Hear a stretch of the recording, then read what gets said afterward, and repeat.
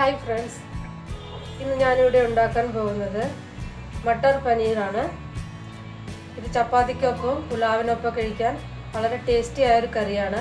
ഇതൊരു north Indian ഡിഷാണ് അപ്പോൾ നമുക്ക് ഇതിന് വേണ്ട സാധനങ്ങൾ എന്തൊക്കെയാണെന്ന് നോക്കാം. ഇതിന് വേണ്ട സാധനങ്ങൾ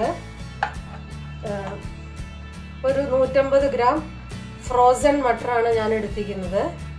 ഫ്രോസൺ മട്ടർ അല്ല നിങ്ങളുടെ കയ്യിലെങ്കിൽ നിങ്ങൾ മട്ടർ കുറച്ച് എണ്ണ ഒരു ടീസ്പൂൺ എണ്ണ ഒഴിച്ചിട്ട് അതൊന്ന് ഒരു രണ്ട് മിനിറ്റ് അതൊന്ന് വഴറ്റിയെടുക്കുന്നത് നന്നായിരിക്കും. അതിന്റെ ആ പച്ചമണം മാറി കിട്ടും. ഞാനിപ്പോൾ ഇത് ഫ്രോസൺ മട്ടറാണ് യൂസ് ചെയ്യിക്കുന്നത് അത് കാരണം അതിന്റെ ഒന്നും ആവശ്യമില്ല. പിന്നെ അതിന് പിന്നെ അതിന് വേണ്ടിയിട്ട് അതിന്റെ കൂടെ ആവശ്യമുള്ളത് ഇരുന്നൂറ് ഗ്രാം പനീറാണ് ആവശ്യം. ഞാനിവിടെ എനിക്ക് നൂറ് ഗ്രാം പനീറാണ് ഞാൻ ചേർക്കുന്നുള്ളൂ. ശരിക്കും നൂറ്റമ്പത് ഗ്രാം മട്ടറിന്റെ കൂടെ ഇരുന്നൂറ് ഗ്രാം പനീറും ചേർക്കാവുന്നതാണ്. പിന്നെ ഇത് ഞാൻ ഹോം മെയ്ഡ് പനീറാണ്. അത് കാരണം പുറത്തുനിന്ന് കിട്ടുന്ന പനീറിനേക്കാൾ വളരെയധികം ഇത് സോഫ്റ്റ് ആയിരിക്കും പിന്നെ ഹെൽത്തി ആയിരിക്കും. പിന്നെ ഇത് വഴറ്റിയിട്ട് നമുക്ക് അരയ്ക്കാൻ വേണ്ട സാധനങ്ങൾ തക്കാളി ഒരു മൂന്ന് മീഡിയം സൈസ് എടുത്തിട്ടുണ്ട്. പിന്നെ രണ്ട് സവാള എടുത്തിട്ടുണ്ട്. ഇതെല്ലാം റഫ്ലി ചോപ്പ് ചെയ്താൽ മതി. രണ്ട് കഷ്ണം ഇഞ്ചി മൂന്ന് വലിയ വെളുത്തുള്ളി അല്ലി എടുത്തിട്ടുണ്ട്. പിന്നെ ഇതിലേക്ക് വേണ്ട മസാലപ്പൊടികൾ അര ടീസ്പൂൺ മഞ്ഞൾപ്പൊടി രണ്ട് ടീസ്പൂൺ കാശ്മീരി ചില്ലി പൗഡർ ഒരു ടീസ്പൂൺ മല്ലിപ്പൊടി അതിന്റെ കൂടെ ഞാൻ ഒരു ടീസ്പൂൺ ജീരകപ്പൊടി ഇതിൽ ചേർത്തിട്ടുണ്ട്. അര ടീസ്പൂൺ ഗരം മസാല പൊടി. ഇത് ഹോം മെയ്ഡ് ഗരം മസാല പൊടിയാണ്. എന്റെ ഈ ഗരം മസാല പൊടി നോർത്ത് ഇന്ത്യൻ ഡിഷ് ആയാലും സൗത്ത് ഇന്ത്യൻ ഡിഷ് ആയാലും ഇത് നല്ല ടേസ്റ്റാണ് ഇത് ചേർത്ത് കഴിഞ്ഞാൽ പിന്നെ മല്ലിയില പിന്നെ ഉപ്പ് പിന്നെ താളിക്കാൻ വേണ്ടിയിട്ട് ഒരു അര ടീസ്പൂൺ ജീരകം എടുത്തിട്ട് ഒരു നുള്ള് കായപ്പൊടി ചേർത്ത് ചേർക്കുന്നുണ്ട് ഞാൻ ഇതിലേക്ക് പിന്നെ ഏറ്റവും അവസാനം ചേർക്കാൻ കുറച്ച് ഫ്രഷ് ക്രീം ഞാൻ എടുത്തിട്ടുണ്ട്. ഞാനിവിടെ ലോ ഫാറ്റ് അമൂളിന്റെ ഫ്രഷ് ക്രീമാണ് എടുത്തിരിക്കുന്നത്. ഇത് നമുക്ക് രണ്ടോ മൂന്നോ ടേബിൾ സ്പൂൺ ചേർത്ത് കൊടുക്കാവുന്നതാണ്. ഇത് ഓപ്ഷനിലാണ്. ഇത് ചേർക്കാതെയും കറി നല്ല ടേസ്റ്റി ആയിരിക്കും. അപ്പോൾ നമുക്ക് ഇത് ഉണ്ടാക്കാൻ തുടങ്ങാം. ഞാനിപ്പോൾ ഇവിടെ ഒരു കടായി അടുപ്പത്ത് വെച്ച് ഒരു സ്പൂൺ എണ്ണ ഒഴിച്ചു കൊടുത്തിട്ടുണ്ട്. ഇനി നമുക്കിതിലേക്ക് വഴറ്റാനുള്ള സാധനങ്ങളൊക്കെ ഓരോന്നായിട്ട് ചേർത്ത് വഴറ്റാം. ആദ്യം ഇഞ്ചി ഇട്ടു പിന്നെ വെളുത്തുള്ളി പിന്നെ ഉള്ളി ചേർത്തിട്ട് ഒന്ന് വഴറ്റാം. വല്ലാതെ വഴറ്റൊന്നും വേണ്ട. കാരണം നമുക്കിത് അരയ്ക്കാനുള്ളതാണ്.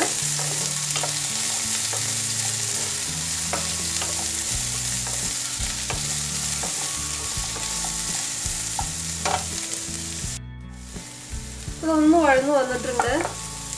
ഇതിലേക്ക് തക്കാളി ചേർത്ത് കൊടുക്കാം. തക്കാളി ചേർത്തിട്ട് തക്കാളി മാഷ് ചെയ്യേണ്ട ആവശ്യമൊന്നുമില്ല. ജസ്റ്റ് ഒന്ന് വഴറ്റി കൊടുത്താൽ മതി. ഞാനിപ്പോൾ തീ കൂട്ടി വെച്ചിട്ടുണ്ട്.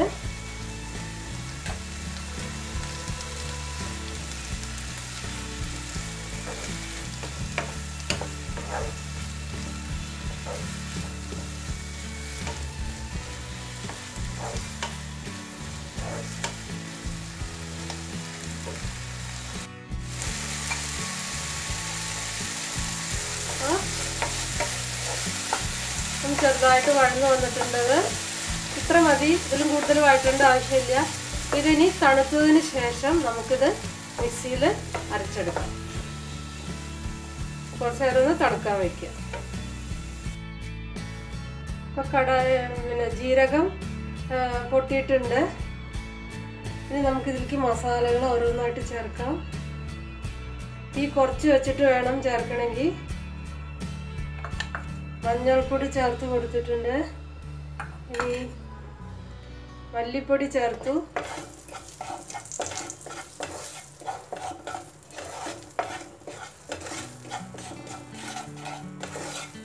ഒന്ന് മൂക്കണം.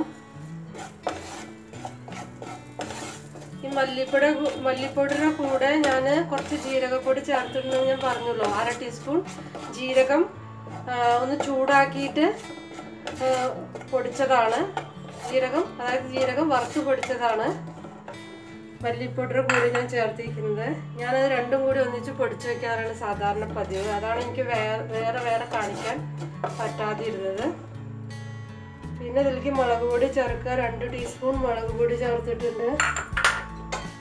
മുളക് പൊടി കരിയരുത്. കറിയുടെ ടേസ്റ്റൊക്കെ മാറും. മുളക് പൊടി ചേർത്ത് ചൂടായി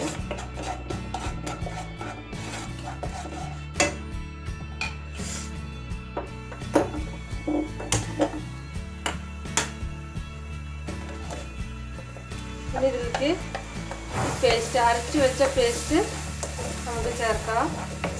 ഇത് ഓൾറെഡി വഴറ്റിയതാവുക കാരണം പിന്നെ കുറേ നേരം വഴറ്റേണ്ട ആവശ്യമില്ല. എളുപ്പം നമ്മളുടെ പണി കഴിയും.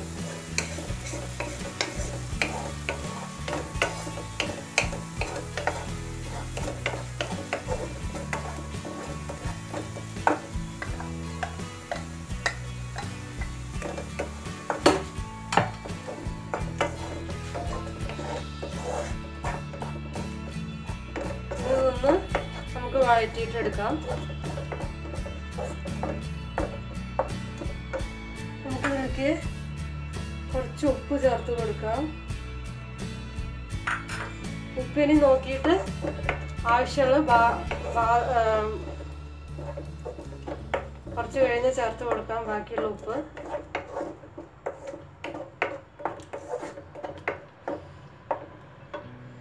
അപ്പൊ നമുക്കിതൊന്ന്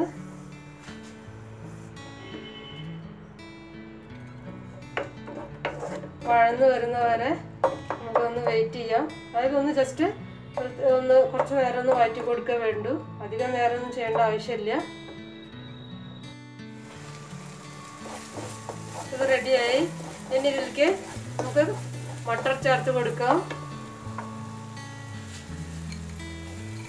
ഗ്രീൻ പീസ് ചേർത്ത് കൊടുത്തു. ഇനി നന്നായിട്ടൊന്ന് മിക്സ് ചെയ്യാണ്ട്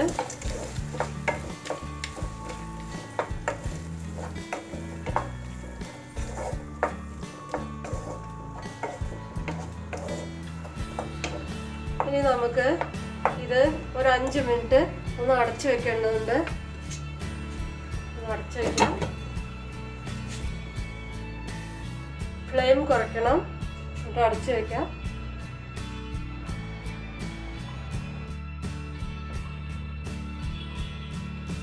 ഇത് തുറന്നു നോക്കാം. കണ്ടില്ലേ? നീല കുറേശ്ശെ എണ്ണയൊക്കെ തെളിഞ്ഞിട്ടുണ്ട്. ഇനി നമുക്കിതിലേക്ക് ഗരം മസാല ചേർത്ത് കൊടുക്കാം.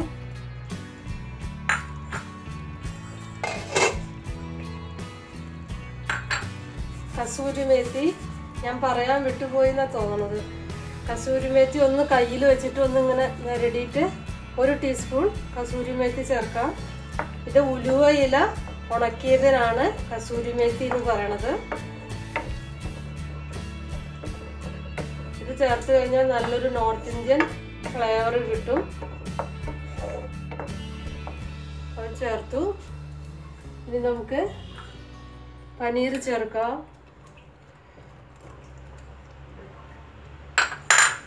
പനീർ ചേർത്തിട്ട് കുറേ നേരം ഇട്ട് തിളപ്പിക്കേണ്ട ആവശ്യമില്ല. ജസ്റ്റ് തിളച്ചാൽ മതി. അല്ലെങ്കിൽ പനീർ ഹാർഡായി പോവും. കുറേ നേരം ഇട്ട് തിളപ്പിച്ചാൽ പനീർ ഹാർഡായി പോവും.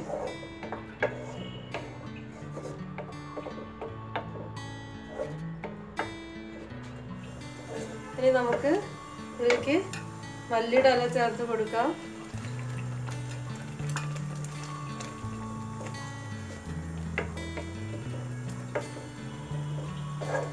ഗരം മസാല എപ്പോഴും അവസാനമാണ് ചേർത്ത് കൊടുക്കാവൂ. ആദ്യമേ ചേർത്ത് വഴറ്റുമ്പോൾ ഒപ്പം ചേർത്ത് കൊടുത്താൽ ഗരം മസാലയുടെ ആ ഫ്ലേവറൊക്കെ പോവും. നമ്മളെപ്പോഴും അവസാനമാണ് ഗരം മസാല ചേർത്ത് കൊടുക്കാവൂ. ഇനി നമുക്ക് അവസാനമായിട്ട് ഇതിലേക്ക് ഫ്രഷ് ക്രീം ചേർത്ത് കൊടുക്കാം. ഒരു രണ്ടോ മൂന്നോ ടേബിൾ സ്പൂണ് ക്രീം ചേർത്ത് കൊടുക്കാം. ക്രീം ചേർത്താൽ നല്ലൊരു ടേസ്റ്റാണ് അത് പക്ഷെ ഇത് തികച്ചും ഓപ്ഷണലാണ് അധികം ഫാറ്റ് ഇല്ലാത്ത ക്രീമാണ് ക്രീം ചേർക്കാൻ ഇഷ്ടമില്ലെങ്കിൽ ക്രീം ചേർക്കാതെ തന്നെ ഇത് നല്ല ടേസ്റ്റാണ് ഈ കറി.